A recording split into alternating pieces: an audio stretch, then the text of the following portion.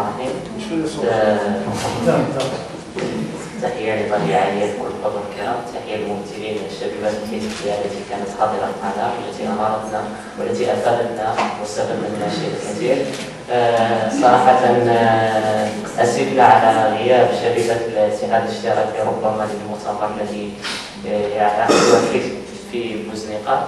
فالمشهد السياسي وعزوف السياسي وعزوف الشباب عن الممارسة السياسية فمجمل الممثلين ديال الاحزاب السياسية والشركات السياسية. لم تعطينا الوجهه الصحيحه والطريق الصحيح لماذا عزوف الشباب عن الممارسة السياسية؟ لم يوضحوا لنا بشكل مبسط لماذا يعزف الشباب عن الممارسة السياسية. نحن كشباب لا منتمون محايدون عن الأحزاب السياسية. نرى أن الأحزاب السياسية لم تعد لها تلك تلك القوة الفاعلة والضاغطه في المجتمع.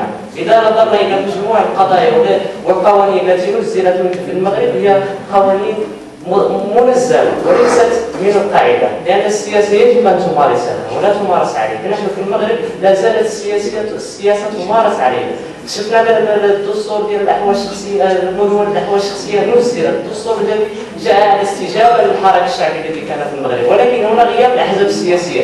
ملي كتمشي كتجي الانتخابات ما كاينش أحزاب سياسية تعطيك برنامج كيمشي عند مول الطباعه كيقول له غير البرنامج من عنده وكيدير له برنامج من عنده ما كاينش برامج الاحزاب السياسية. هذا غياب الأحزاب السياسية في المشهد السياسي المغربي.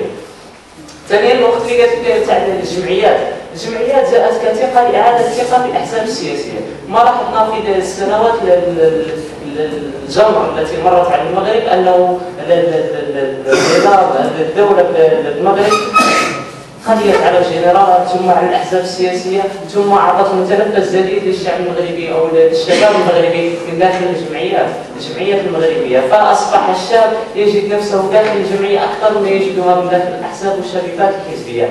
فيجب إعادة النظر في المشهد السياسي المغربي وشكرا لك شكرا سيد سيد